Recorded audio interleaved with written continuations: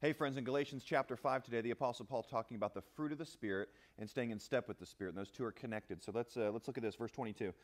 But the fruit of the Spirit is love, joy, peace, patience, kindness, goodness, faithfulness, gentleness, self control. Against these things there is no law. And those who belong to Christ Jesus have crucified the flesh and its passions and desires. If we live by the Spirit, let us also keep in step with the Spirit.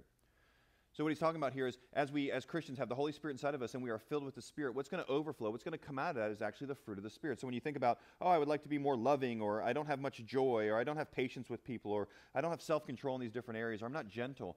Well, that's because that's part of your flesh. Instead of trying harder to do those things, you need to work on being in step with God's Spirit. Well, how do you do that? Again, you're in His Word, memorizing His Word. The Spirit uses His Word. He uses prayer. He uses fasting. He uses repenting of sin and confessing that to God and being with God's people. And what happens then is the Holy Spirit overflows and these things just come out. Again, how does that happen? Keeping in step with God's Spirit. Let's walk together in God's Spirit. Have a good day.